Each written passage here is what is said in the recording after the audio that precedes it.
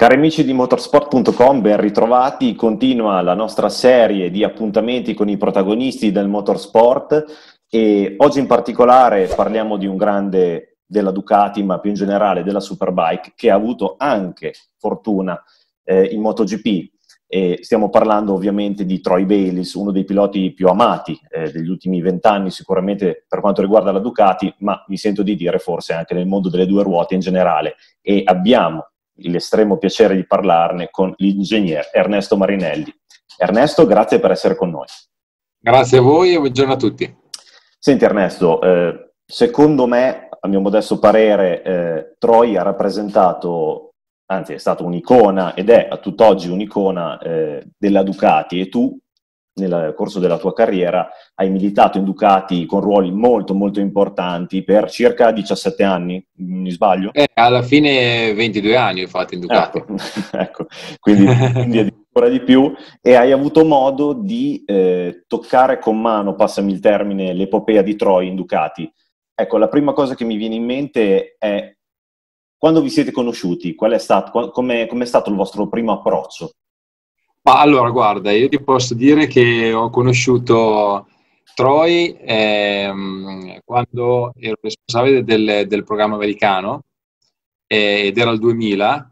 Eh, lui allora veniva dal, dall'avventura nel campionato di SB e ehm, partimmo con eh, i test invernali per fare la stagione nel, ehm, in AMA.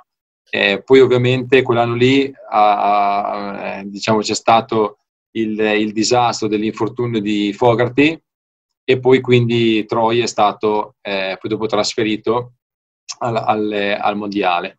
E, e, quindi ti posso dire che l'ho conosciuto ai test invernali a, a, a Daytona, che tra l'altro è una pista abbastanza particolare e e la cosa che già allora era abbastanza, diciamo, evidente è che è andato in pista già dopo i primi giri alla NASCAR 4, che è una delle più impegnative, lui passava tranquillamente tutto gas, che di solito avevo fatto fare ai piloti quando li vedevo quando erano in qualifica, quindi già lì si capiva abbastanza il calibro eh, che aveva. E, e, da lì poi, diciamo, eh, a metà anno ehm, è stato riportato nel, cioè è stato portato nel, nel, mondiale e poi dopo ciò rilavorato nel 2006 eh, quando poi abbiamo avuto il mondiale.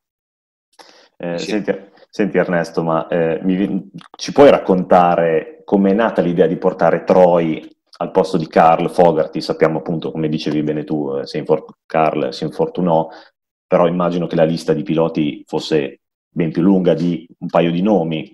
Qual è stata la scintilla che vi ha fatto prendere Troy? No, beh, certo, sai, quando succedono questi tipi di inconvenienti, specialmente poi eh, allora, insomma, sostituire un calibro come Fogarty non è che era proprio una cosa da, da niente. E ovviamente a stagione iniziata, ovviamente eh, anche come scelte, la, la cosa che, poi, che vai a fare subito è vedere nel parco piloti eh, che hai nelle tue varie attività, quale può essere quello più idoneo. Eh, poi quell'anno lì c'erano state ehm, un po' di prove anche con altri piloti, però a parte la prima gara che gli fecero fare, che se non mi ricordo male era Sugo, e dove alla fine ehm, furono due DNF perché comunque eh, era stata una gara un po' particolare, un po' burrascosa, eh, dopo invece, diciamo, con, la, eh, con, l'altra gara a Monza, dove fece il passaggio mitico triplo in, in ingresso per la variante, diciamo che già quello accese diciamo, tutti gli amori che ancora eh, dovevano, dovevano sbocciare. A parte che Troy è una persona talmente fantastica che posso dire è impossibile non volergli bene lavorandoci assieme. Poi ovviamente come tutti i piloti, è esigente, ha eh, tutta una serie di, di, peculiarità, però sicuramente eh, è un pilota che dà sempre il 150% e quindi lavorare con lui non puoi far altro che seguirlo e dare tutto e di più quello che hai da dare. Ecco, hai parlato del, beh, del leggendario sorpasso di Monza, eh, ti volevo chiedere che impressione vi ha fatto dal box? Perché secondo me il tifoso, sai, magari è coinvolto in, un certo, in una certa maniera, ma da ingegnere vedere una cosa del genere, che impatto è? Cioè, è una cosa, immagino, straordinaria. Ma sicuramente ti attacchi a tutti e dici come cacchio farà fa quella curva lì e poi ce l'ha fatta.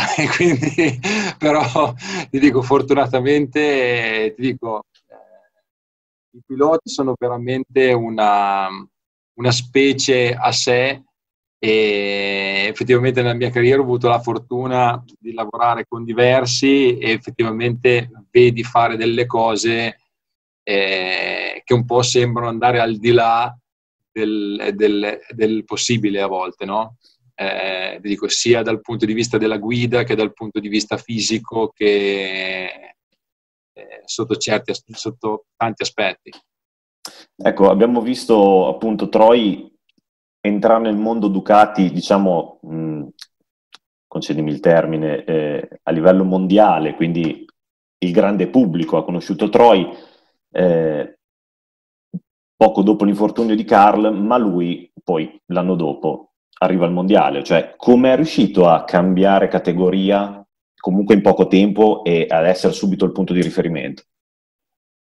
Ma eh, ti dico, il talento ovviamente uno ci nasce, poi secondo me nella, nella sua carriera, tra l'altro lui ha iniziato abbastanza tardi, ehm, eh, però effettivamente eh, il talento è una cosa che poi dopo viene fuori abbastanza velocemente. Eh, infatti ti dico, al primo test, quando l'ho visto su un circuito che non aveva mai visto prima, ehm, poi Daytona è una pista veramente molto particolare, con delle criticità completamente diverse anche dai circuiti normali che uno può andare a fare perché hai banking, quindi cioè, ci sono tutta una serie di stili e di accortezze che devi avere eh, dove effettivamente vedono andare così forte immediatamente eh, senza mai averla vista la, la, pista prima è una cosa abbastanza eh, particolare. E quindi i numeri li vedi, li vedi, li vedi poi lui ha questa, questa eh, incredibile eh, capacità di ehm, cercare di arrivare sempre e lavorare sempre vicino al limite. Eh, cioè, su molti piloti dove effettivamente quando sei in testo, vi dicendo, comunque vari un attimino il livello che vai. Invece lui riesce sempre ad al 100% e effettivamente questo anche nello sviluppo e nel lavoro che poi si fa durante il weekend è, è, è molto importante. Eh, infatti anche se lui ha uno stile molto particolare perché a differenza per dire di altri piloti che sulla moto sono consentimi il termine statici, cioè nel senso che non si muovono tanto ehm, al di fuori di quello che ti richiede la moto. Eh, Troy un pilota che eh, col, fis- col, corpo compensa veramente un sacco e quindi lo, gli consentiva di utilizzare dei setup molto estremi, sia a livello di stabilità di avancorsa e, e via dicendo, e questo gli consentiva di avere uno stile magari non il più pulito del mondo, però particolarmente efficiente. Eh, e quindi infatti poi i suoi setup generalmente erano abbastanza personali, nel senso che se ci mettevi sopra un altro pilota che invece aveva una guida molto pulita, eh, scendeva giù con due occhi così, cioè, è un cavallo imbizzarrito sta moto, no? Eh, e invece, ti dico, con lui riuscivamo a lavorare molto bene, anche perché le, un cambiamento rispetto a un altro, lui lo tarava sempre sul tempo sul giro. Consente di non prendere a pagli, no? eh, eh, perché ovviamente quando uno ha un filo di margine, basta che un cambiamento, diciamo a livello di feeling, gli piaccia un filino di più, spinge un po' di più e quindi poi alla fine vedi una differenza sul giro che è un po' falsata dalla preferenza rispetto all'effettiva potenzialità del cambiamento stesso. E, ehm, e, invece, e poi va molto a preferenza, no? perché comunque effettivamente andare forte in moto è sempre questione di fiducia, quindi indipendentemente dalla parte tecnica che ci può essere, il pilota va tanto più forte quanto più è convinto che la moto possa fare determinate cose. Eh, e lui quindi mi è capitato diverse volte dove eh, per dire entrava dentro e mi diceva cacchio a me sta modifica qua fa schifo però sono venuto giù tre decimi e quindi vuol dire che va bene e quindi me la faccio piacere. Oppure al contrario, capito, che entrava e diceva cacchio, secondo me la moto va meglio, però giro più piano e quindi vuol dire che eh, comunque qualcosa non va. E ti dico, e questo effettivamente ci ha sempre, almeno nel lavoro che abbiamo fatto insieme, ci ha sempre consentito, bene o male, di arrivare eh, sempre a soluzioni eh, che poi dopo avevi sempre riscontro eh, vero.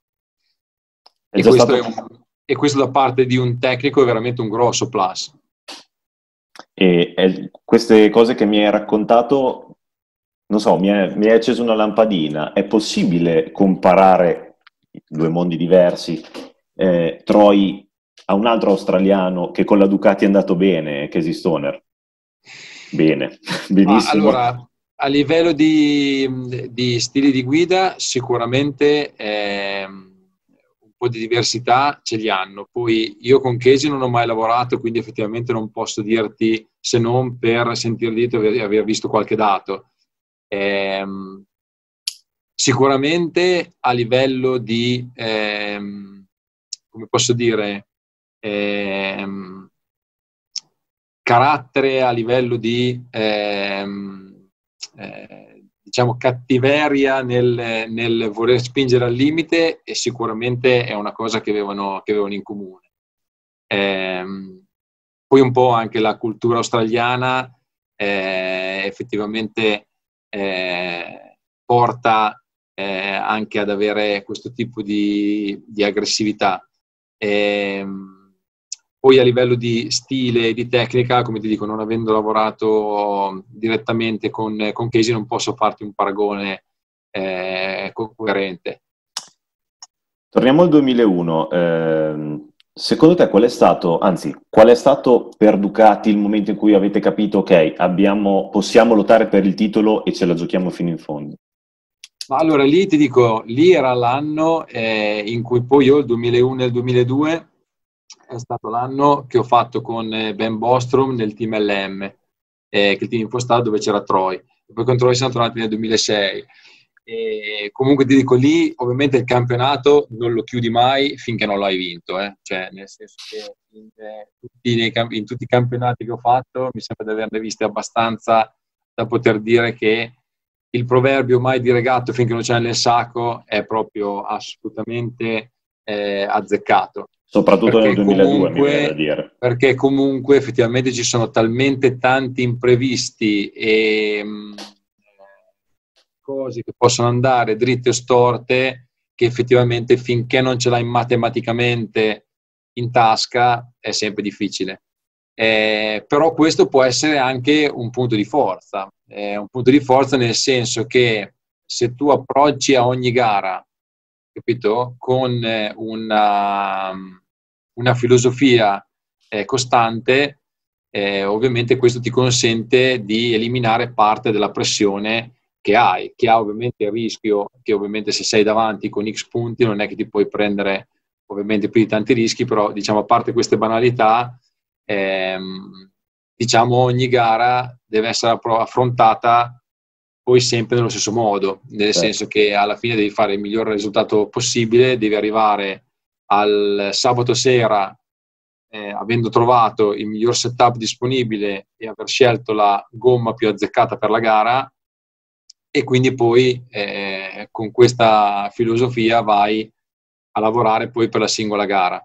Ovviamente, ti dico, quando uno è davanti con un discreto vantaggio, sicuramente un minimo di margine se lo, se lo si tiene. Quindi ecco che la gara, diciamo, cruciale dove, dove devi...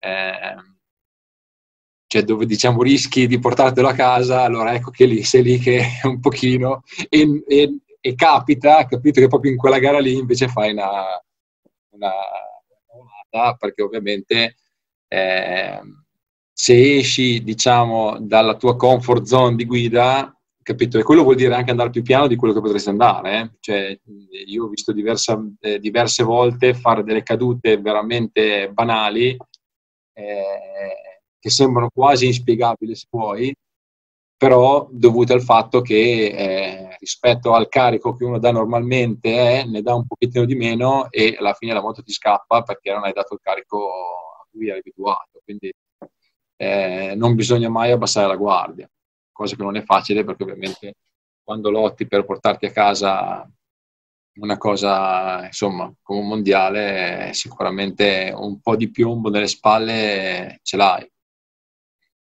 Infatti poi è stata una cosa anche eh, dell'anno 2006, quando poi abbiamo vinto il mondiale assieme, che poi alla fine è stato un anno il più bello della mia vita, posso dire, a livello di, di gare, perché poi oltre il mondiale che abbiamo vinto in Superbike abbiamo fatto quella gara eh, spot in MotoGP che effettivamente eh, insomma alla fine quando siamo arrivati alla fine e l'abbiamo portata a casa eh, diciamo che è stato ragione di festeggiamenti poi perché è stato veramente il coronamento di, di, una, di una stagione veramente incredibile Oh, comunque partire da Superbike e arrivare a fare una gara singola di MotoGP con una moto diversa, gomme diverse, eh, eh. non è banale dire che arrivi alla fine, alla fine, della gara davanti a tutti, quindi direi che anzi non è mai successo e non so ancora quando potrà risuccedere. Ma sono completamente d'accordo, siamo rimasti tutti stupiti non tanto dal talento di Troy perché quello personalmente sempre stato conclamato, quanto perché tutti nell'immaginario collettivo c'erano le tre stagioni fatte eh, dopo il titolo Superbike, eh, che passò assieme a Loris Capi, anzi, sì, diventò sì, eh, esatto, eh, compagno di squadra di Loris Capirossi. Eh, peraltro il primo anno molto bene perché riuscì a portare a casa anche dei podi importanti, fece un po' più fatica il secondo anno, poi il terzo si infortunò e non era comunque in Ducati. Eh. Ecco, secondo te avrebbe potuto fare di più Troy in, in MotoGP al netto di una Ducati che non era appunto la, la, la moto che poi abbiamo visto nel, a fine 2006, inizio 2007 e negli anni successivi. Ma ti dico, il, secondo me il potenziale è sottolto la gara di, di, Valencia, se vuoi uno spot, però cioè, non è che uno entra in MotoGP, fa una gara così a piombo e vince senza niente, vuol dire che quelle potenzialità ce l'hai. Poi ovviamente il campionato MotoGP è sicuramente un campionato difficile dove ci sono anche allora, dove c'erano comunque delle forze in gioco molto particolari, quindi un conto fare una gara effettivamente alla fine dove tra virgolette non è nulla da perdere se vuoi, invece puoi fare un campionato intero. Però ti posso dire che effettivamente poi le gare sono gare, le moto sono moto ehm, e quindi eh, diciamo a parte il livello che uno può discriminare tra un campionato e l'altro, o vi dicendo, però anche in quella sede lì alla fine è stato un anno dove alla fine si è confermato che effettivamente poi il top da una parte poteva fare bene anche dall'altra, eh, quindi ti dico, eh, con quella configurazione lì, eh, secondo me avrebbe potuto tranquillamente fare un ottimo campionato, anche farlo tutto intero. Ecco, Poi ovviamente ti dico, per ogni pilota per fare bene, eh, sai, hai una, un cocktail che deve funzionare, nel senso che ogni pilota per performare e per performare meglio degli altri ovviamente deve avere una confidenza sul pacchetto eh, moto, squadra, gomme, vi dicendo che deve essere eh, al top per poterlo fare performare al, al meglio. Basta solo che manchi un tassello di queste cose qui e, e, ovviamente la confidenza cala e quando cala la confidenza cala la prestazione. Certo, Quindi... ti volevo chiedere, senti Ernesto, ma è vero che parlando della gara spot vinta da Troy in uh, MotoGP a Valencia, è vero che chiese nello specifico la tua presenza, quella di Tardozzi e quella di Ciabatti?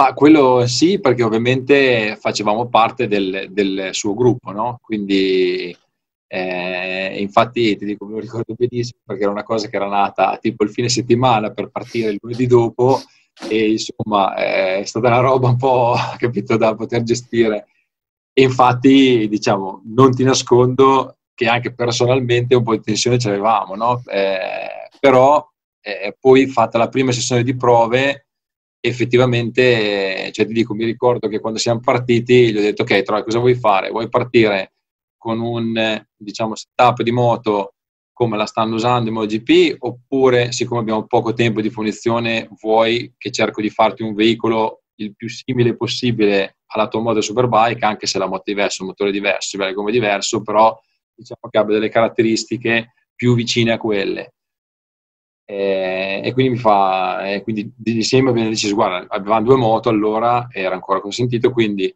mettiamo due moto una in una configurazione e una con l'altra, faccio i primi giri su entrambi, quella che mi dà il miglior feeling, lavoriamo su quella.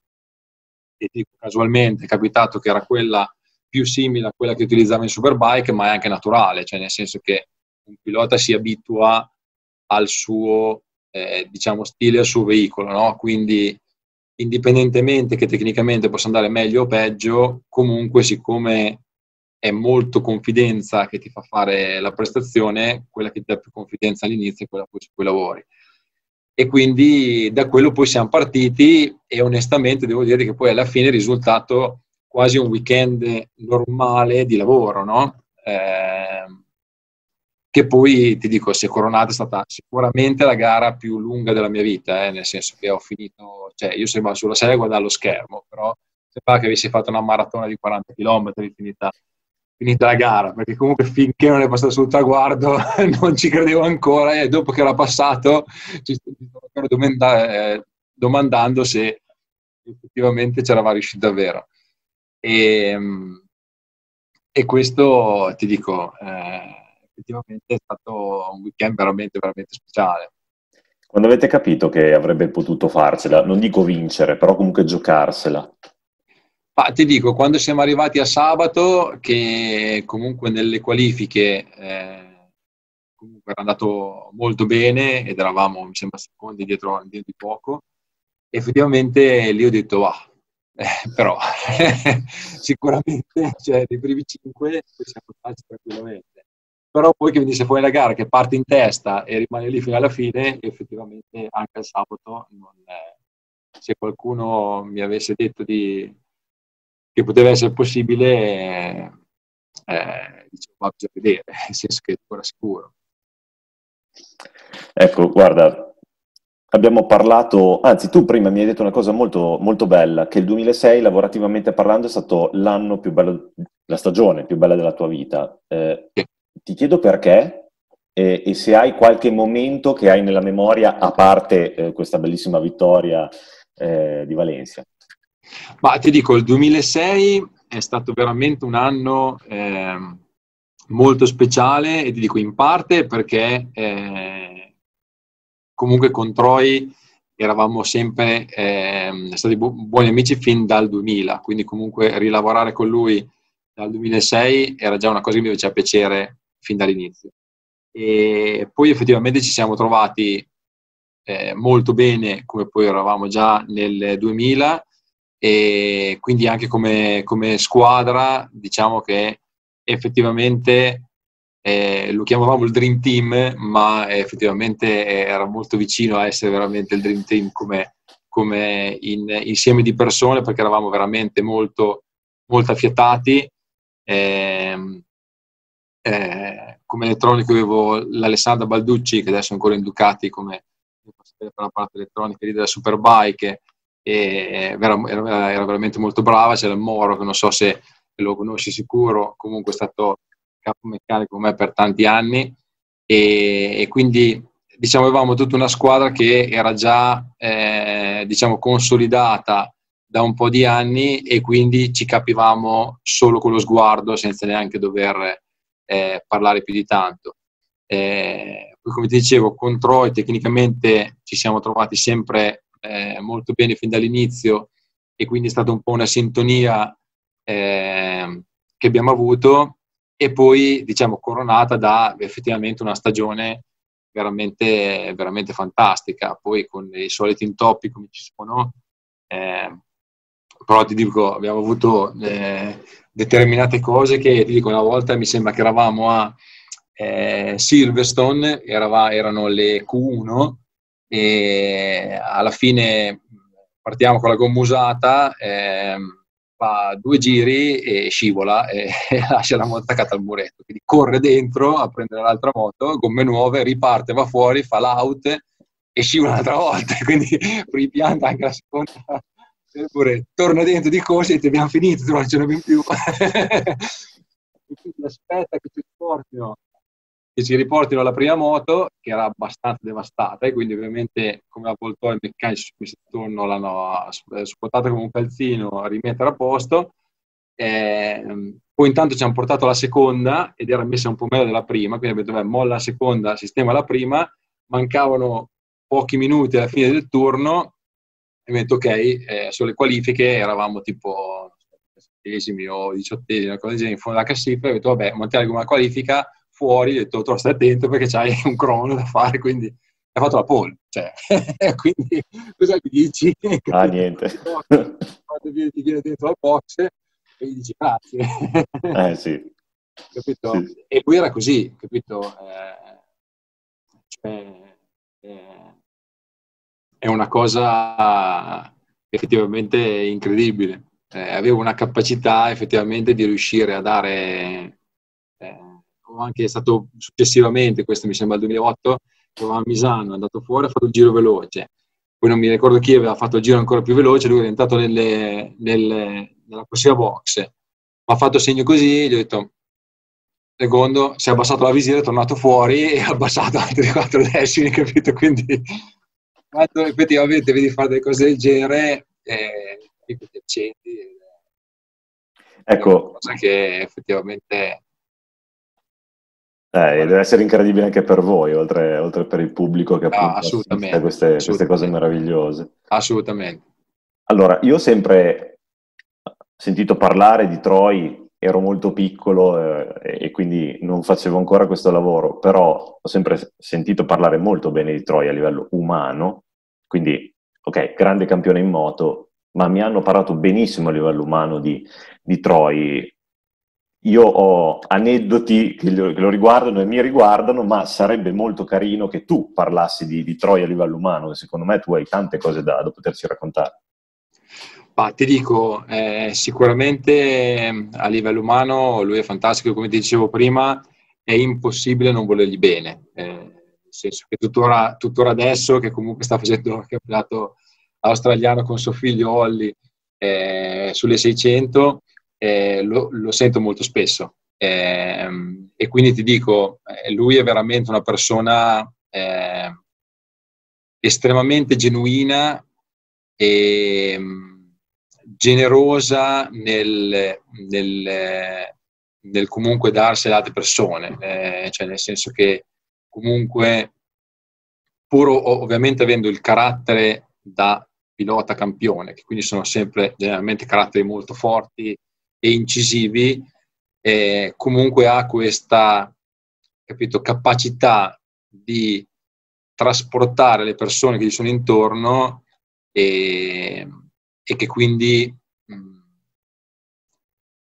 ti capito, dà onore riuscire effettivamente ad avere un... Eh, cioè, infatti mi sembra estremamente fortunato di aver avuto l'occasione, capito, di eh, lavorare, stringere questa amicizia, capito, con, con eh, una persona come Troy che veramente eh, rimane capito, il pilota più, eh, più incredibile in cui abbia lavorato.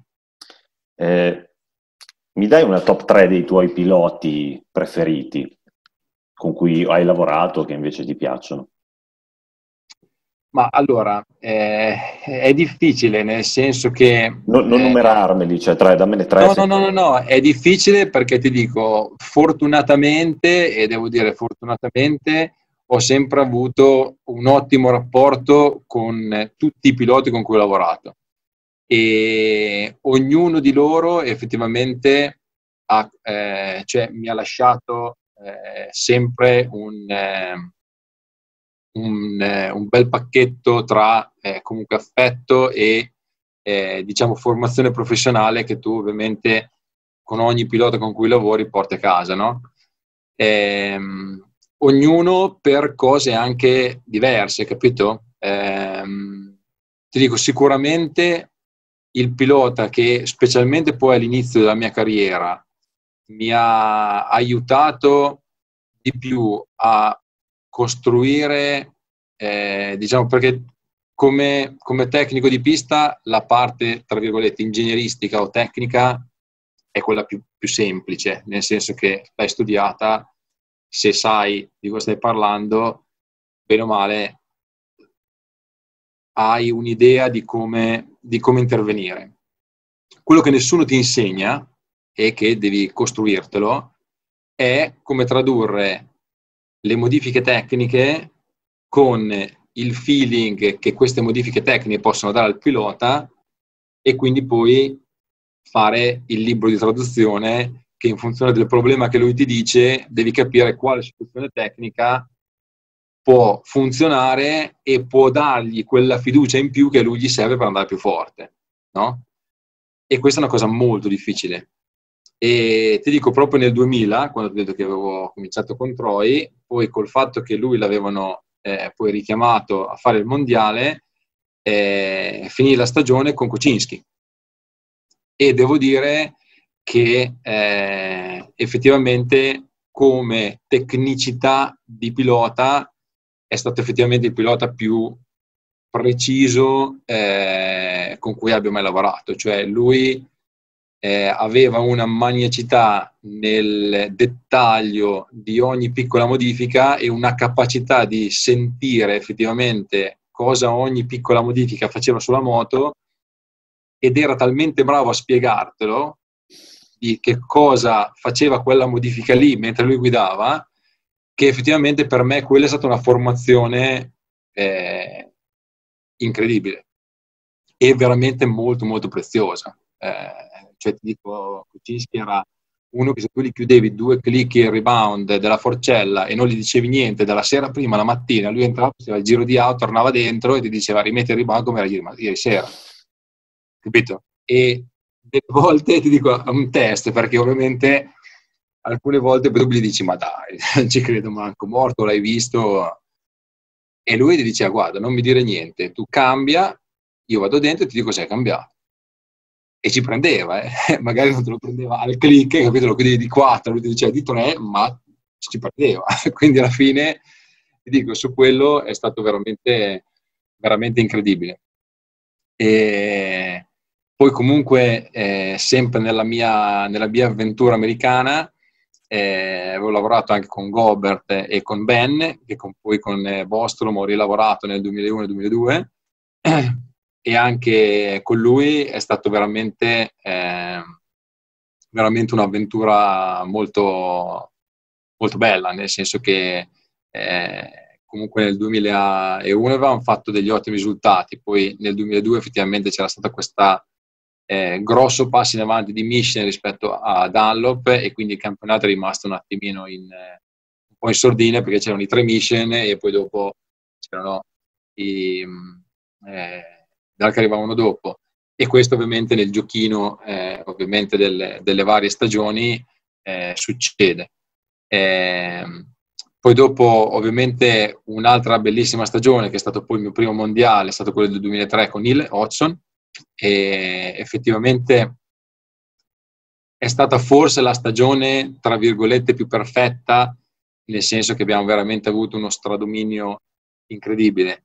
Eh, Nille era anche lui un pilota molto preciso, con uno stile di guida completamente diverso da quello che potrebbe avere Troy, anzi praticamente opposto, perché Nille aveva una guida veramente super pulita eh, e quindi per dire a livello di avancorsa era completamente due argini completamente diversi, e, però anche lui come lavoro era molto metodico, era molto preciso sui, sui feedback e, e, quindi da quello eh, diciamo è venuto fuori poi una, una stagione eh, perfetta. Poi 2004-2005 ho avuto Regis, che anche lui è un un cavallo pazzo, quindi diciamo che mi ha dato un po' di, di di grattacapi eh, e poi dopo eh, abbiamo riniziato con eh, Troy, come abbiamo parlato prima, nel 2006. È stato molto interessante anche la, l'anno con Nori,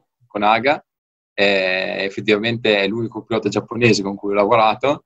E, a parte essere una persona fantastica, eh, però effettivamente poi hai anche questa differenza di mentalità che devi interpretare, eh, perché effettivamente rispetto anche a, tra virgolette, noi occidentali, effettivamente ha una forma mentis leggermente diversa, quindi con lui effettivamente ho dovuto affinare tutta una serie di, di cose per cercare di eh, non più di tanti casini, perché sennò effettivamente ah, lui aveva molto un approccio di comunque cambiamo, però voglio dire, anche se aveva vinto la gara con 10 secondi, per lui avrebbe stravolto la moto anche per gara 2, capito? E dice, ma perché? E quindi, quindi, questo è un po'... Diciamo che, ti dico, da quel punto di vista lì, eh, ogni pilota ti, eh, ti, lascia, ti, lascia, sempre qualcosa. Poi effettivamente, poi dal, dal 2009 in poi, eh, scusa, dal 2010 in poi, eh, ho cambiato poi ruolo, quindi non ero più, eh, diciamo, ingegnere di pista, quindi direttamente a contatto col pilota, sono passato più dal lato di gestione del progetto del team eh, e quindi è stato un ruolo diverso perché ovviamente pur avendo il contatto col pilota, eh, però diciamo il legame stretto eh, di sangue devi avercelo con il capotecnico, che deve essere poi l'unica persona che hai come riferimento, perché un'altra cosa fondamentale per i piloti è, cioè, non devono avere dubbi, quindi se ti trovi tre persone che dicono tre cose diverse, eh, già te non sai più quella è giusta, no? Quindi devi sempre avere una, ci dico delle volte eh, è proprio importante, anzi comunque è sempre fondamentale anche il lato psicologico, capito? Cioè devi potergli dire no, guarda, per vai forte, vai dentro, vai tranquillo. E lui deve andare dentro tranquillo senza nessun pensiero, capito? Perché se invece tu dici così e di fianco c'è uno che fa allora già hai, perso, hai, perso, in partenza. Eh sì. perso in partenza. Ultima domanda, e ti volevo chiedere, prima ci hai raccontato degli aneddoti bellissimi legati a Troy pilota. Ti chiede quelle che si possono dire, degli aneddoti a livello umano, anche magari ai box, però che non siano legati strettamente alla moto, alla superbike o alla MotoGP. Ma allora, a parte quelli che non si possono raccontare, perché ovviamente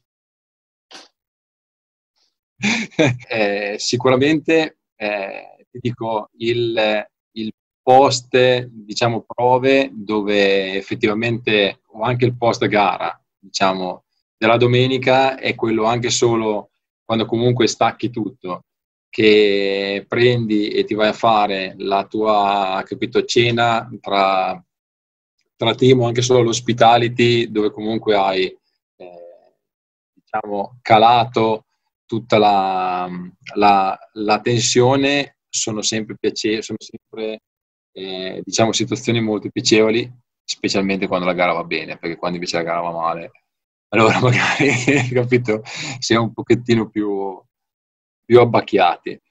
E, ehm, e poi eh, ti dico una cosa che è stata veramente simpatica è data quando poi ha, diciamo, si è ritirato fino al 2008, quindi dopo aver vinto, cioè anche lì abbiamo finito effettivamente che era difficile finire peggio, nel senso che poi nel 2008 abbiamo vinto il mondiale, poi l'ultima gara ha fatto la pole position, ha vinto tutte e due le gare con distacco e poi si è ritirato, quindi anche quello lì non ce ne sono tanti, capito, no. che, che possono fare così.